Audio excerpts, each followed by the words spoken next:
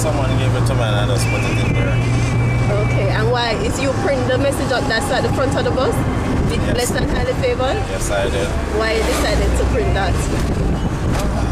I, I always think that I'm blessed, so I, I just use that phrase. I went to a convention once and this was the theme. Uh -huh. I uh-huh. liked it and I said I'm going to use it on my people. Okay, you think it helped other persons who see it? I hope it does. Yeah? Okay, thanks a lot.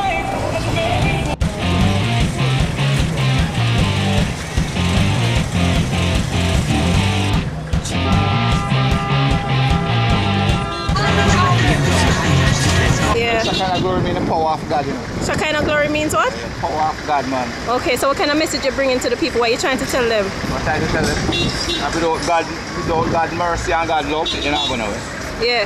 Yeah, man. So for everybody who take care of us, that's what you said to them. That's what you said to them for everybody won't take care of us. But the, But the message is there, it- Yes, message is there. clear. Shekinah glory. Yeah, See? man. So which route you're on? It's in Spanish Town. Yeah? Uh-huh. So about how many passengers you get every day? Every day? Yeah. It'll be every day, no. Sometimes you, sometimes you drive with all seven. Yeah? Yeah. But everybody see the Shekinah glory, Yeah, yeah? man. Ah, bless up. And cute. You put the message on it? We can ask you on camera why? Hold on. Tell me now. You put it on put it on your car for the protection? Yeah, because in a taxi work you have to have God with every time. Yeah. You might say you have a Kartel slang or a Bounty Killer slang, but you have something very meaningful. Yeah. Watch over me, oh Lord.